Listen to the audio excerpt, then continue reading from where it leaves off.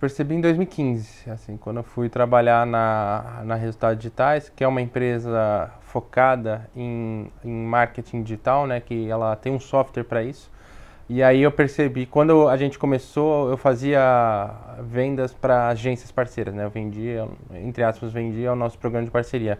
Angariava parceiros para o pro nosso programa e, e, eu via como essas agências estavam é, tendo resultados e conseguiam entregar resultados reais para os clientes. Então não era só campanhas de buzz, mas também eram campanhas que traziam vendas no final para os clientes. Aí foi quando deu o, o clique, assim, falar, ah, agora eu entendi o todo, eu, eu entendi o que eu estava fazendo, como é que funcionava.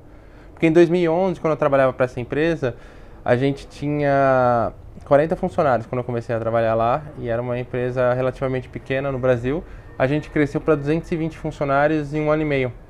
A nosso departamento de marketing, eu era a segunda pessoa do departamento de marketing, a gente cresceu para seis pessoas. Então, e foi tudo assim, a gente fazia content marketing basicamente, fazia... Porque a gente tinha dois desafios. Um era é, vender mais, né, ajudar o time de vendas.